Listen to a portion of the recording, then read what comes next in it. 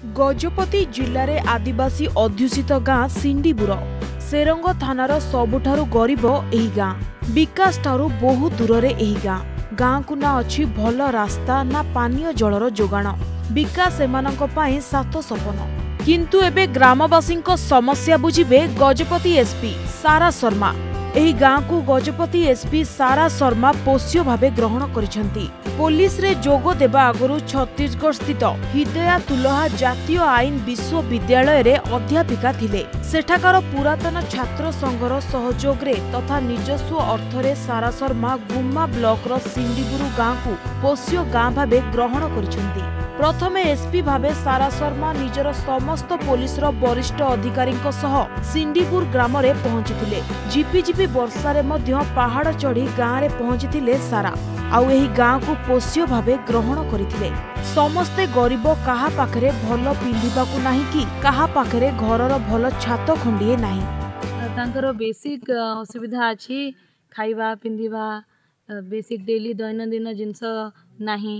ବହୁତ ଲିମିଟେଡ଼ ରିସୋର୍ସେସରେ ସେମାନେ ରହୁଛନ୍ତି। ତ ତାଙ୍କର ଡେଲି ୟୁଜ୍ର ଜିନିଷ ତାଙ୍କର ଡେଲି ହାଣ୍ଡି କୁଣ୍ଡି ଏସବୁ ଯେଉଁଟା ବେସିକ୍ ତାଙ୍କର ସୁବିଧା ଗୁଡ଼ାକ ଆମେ କରିବୁ। କିଛିଟା ପିଲା ସ୍କୁଲ ଡ୍ରପ୍ ଆଉଟ୍ ମଧ୍ୟ ଅଛନ୍ତି ତାଙ୍କର ଆଡ଼ମିସନ୍ କରିବୁ ଏବଂ ତାଙ୍କର ଅନ୍ୟ ହେଲ୍ଥ ପ୍ରୋବ୍ଲେମ୍ ଅଛି ସେଗୁଡ଼ାକ ମଧ୍ୟ ବୁଝିବୁ। ତ ଯେହେତୁ ଏଠି ଉଣେଇଶଟା ଘର ଅଛନ୍ତି ତ ଆମ ପାଇଁ ସୁବିଧା ମଧ୍ୟ କି ଆମେ ତାଙ୍କର ପୁରା ହୋଲିଷ୍ଟିକ୍ କେୟାର ନେଇପାରିବୁ। ଯେମିତି ଗୋଟେ ପେରେଣ୍ଟସ୍ ତା ଛୁଆମାନଙ୍କର କେୟାର ନିଅନ୍ତି ଆମେ ସବୁ ଚେଷ୍ଟା କରିବୁ କି ତାଙ୍କୁ ସବୁ ପ୍ରକାର ସାହାଯ୍ୟ କରିବା ପାଇଁ। ଗ୍ରାମକୁ ପୋଷ୍ୟ ଭାବେ ଗ୍ରହଣ କରିଥିବାରୁ ଏସ୍ପି ସାରା ଶର୍ମା ଗାଁର ଘର ଘର ବୁଲି ଦେଖିଛନ୍ତି। ସେମାନଙ୍କ ଆର୍ଥିକ ମାନସିକ ସ୍ଥିତି ଦେଖିବା ସହ ଗ୍ରାମରୁ ନିରକ୍ଷରତା ଦୂର କରିବା ସହ ଭଲ ସ୍ୱାସ୍ଥ୍ୟ ସେବା ଗମନାଗମନ ଭଳି ସେବାକୁ ପ୍ରାଥମିକତା ଦେବେ ବୋଲି କହିଛନ୍ତି। ଏସ୍ପି ଗାଁରେ ପହଞ୍ଚି ସମସ୍ତଙ୍କୁ ବିସ୍କୁଟ ମାସ୍କ ଦେବା ସହ କରୋନା ସହ ଲଢ଼େଇ ପାଇଁ ସମସ୍ତ ସରକାରୀ ସଚେତନତା ବାର୍ତ୍ତା ବୁଝାଇଥିଲେ।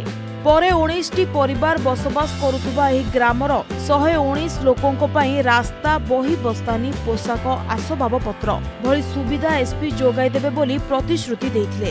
ଅନ୍ୟପଟେ ପ୍ରଥମ ଥର ପାଇଁ ଗ୍ରାମରେ ସରକାରଙ୍କ ଏପରି ଉଚ୍ଚ ପଦସ୍ଥ କର୍ମଚାରୀଙ୍କୁ ଦେଖି ଖୁସି ପ୍ରକଟ କରିଛନ୍ତି ଗ୍ରାମବାସୀ।